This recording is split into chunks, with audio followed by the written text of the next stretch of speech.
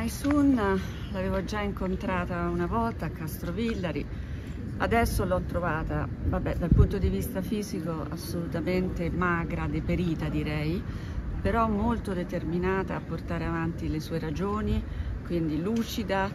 non si dà ancora pace di tutto quello che sta accadendo perché ha tenuto a dire che lei non è arrivata in Italia in cerca di fortuna, lei è una attivista che è arrivata in Italia per mettersi in sicurezza e pensava di avercela ormai fatta e invece è iniziato questo incubo e lei vuole uscire da questo incubo perché tutto quello che le viene attribuito è assolutamente falso. C'è un grande equivoco alla base di tutto questo ed è l'equivoco di traduzioni fatte da persone che non parlano la stessa lingua, eh, da persone che poi eh, sono, come dire, sono state rintracciate questi accusatori sedicenti tali che hanno detto che non hanno mai accusato eh, Maisun, dunque quelle dichiarazioni non corrispondono alla loro verità e sono disponibili a testimoniare, tant'è che eh,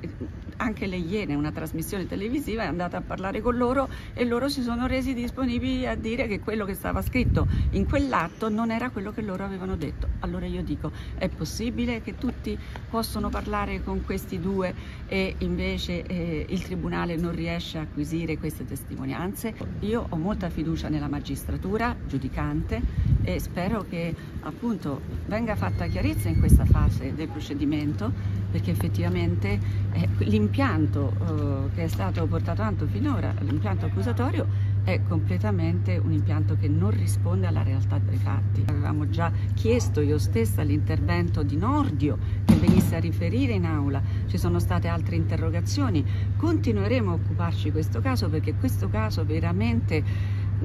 è, qualcosa che ci, ci, dà talmente tanta preoccupazione che useremo tutti gli strumenti che abbiamo a disposizione anche informare l'opinione pubblica perché si deve sapere, io non vorrei che sull'onda di questa idea che bisogna trovare nel globo terracqueo tutti gli scafisti, ecco, questa modalità possa influenzare e arrivare anche laddove invece bisogna valutare sulla base della realtà. Onorevole, lei ha detto che ha fiducia nella magistratura giudicante, ma perché il, il, fatto che sia arrivati a questo punto forse è, è, dovuto anche a un clima politico?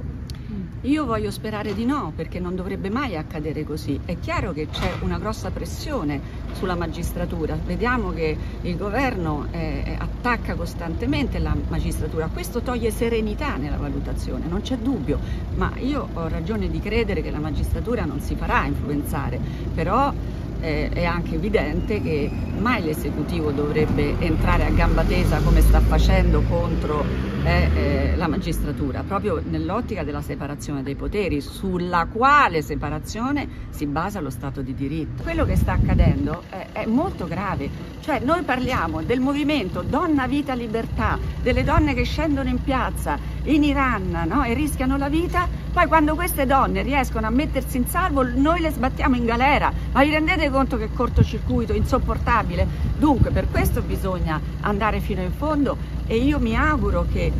la magistratura lo faccia con senso di responsabilità perché altrimenti questa giovane donna rischia anni e anni di galera quando pensava di essersi messa in salvo. Un paradosso insopportabile.